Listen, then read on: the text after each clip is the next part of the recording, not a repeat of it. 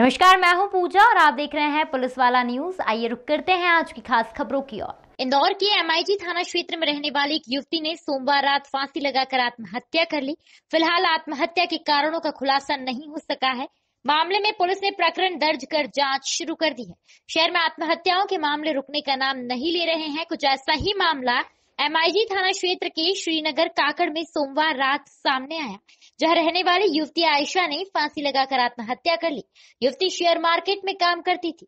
आयशा ने आत्महत्या क्यों की इसके कारणों का खुलासा नहीं हो सका है। फ़िलहाल एमआईजी पुलिस ने मर्ग कायम कर शव को पोस्टमार्टम के लिए एमवा अस्पताल भिजवा दिया है।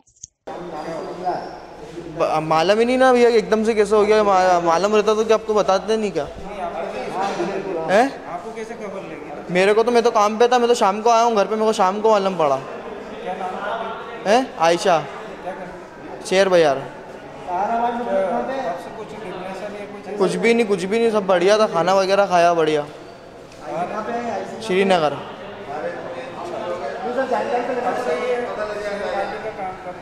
चार पाँच साल हो गए।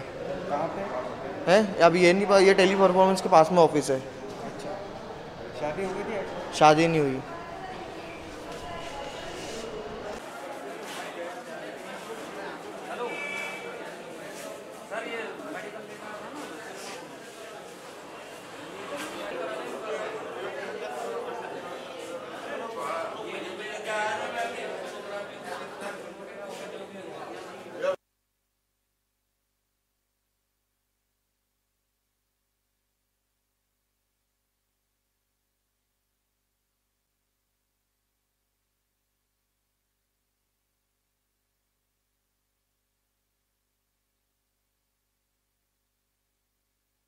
पुलिस वाला न्यूज़ से city crime reporter Sanjay Verma की रिपोर्ट।